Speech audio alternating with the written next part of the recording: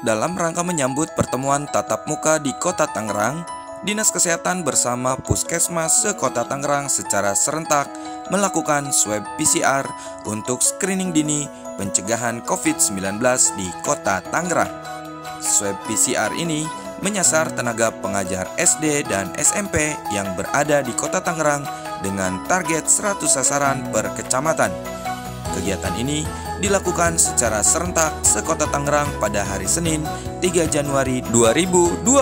Saya sudah melakukan PTM dari kelas 1, kelas 1 dan kelas 6. Lalu setelah mengajar saya ke sini untuk melakukan kegiatan PCR untuk e, kesehatan. Melakukan PCR ini e, untuk e, saya sangat-sangat berguna sekali untuk kesehatan saya dan anak-anak semuanya di sekolah. Uh, saya di sini sedang melakukan swab untuk yang pertama kali bagi saya melakukan swab di sini.